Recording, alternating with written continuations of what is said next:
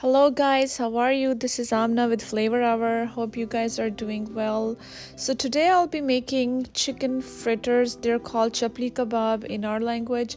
So chapli kebab, I already have posted recipe of this one but today i'm making it with less spicy version and i'm not gonna add too much like green chilies and other stuff in there so your kids can have it too so let's see how we're gonna make it so i'll be taking chicken minced meat which is called keema. I'm adding fresh coriander.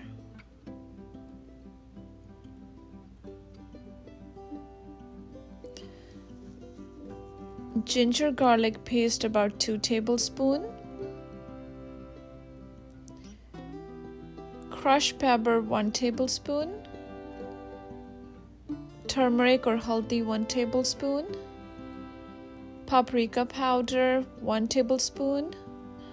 Coriander powder 1 tablespoon. And I'll be adding chapli kebab Laziza international masala. You can get it at some grocery stores and Asian stores or Desi or Indian Pakistani stores. Now I'll be adding two eggs in it. It will keep all the keema and all the mincemeat together. So your patties will not be too loose. Now I'll be adding this Laziza chapli kebab masala which I mentioned earlier. Mix everything together.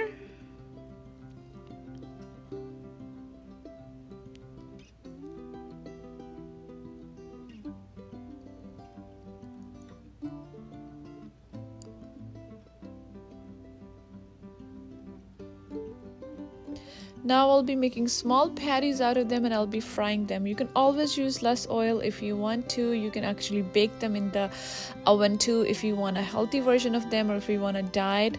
You can always cook it differently or you can grill them as well. So this was just a fast cooking day for me so i'm just be frying them quickly in my pan. Always i sometimes use non-stick pan and i then i need very less oil. So always use a non-stick pan so you don't need that much oil in it but if you're really on a diet and want to lose weight you can always have them cook in your oven or you can grill them. You don't have to use oil at all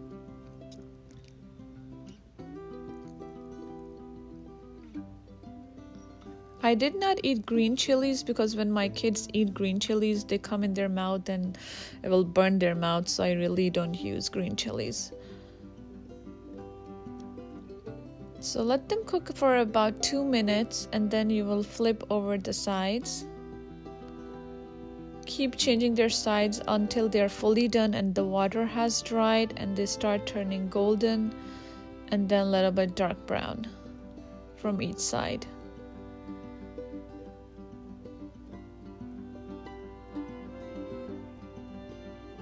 As you can see they're turning light golden brown from each side. We'll keep cooking them. Make sure all the water has dried up.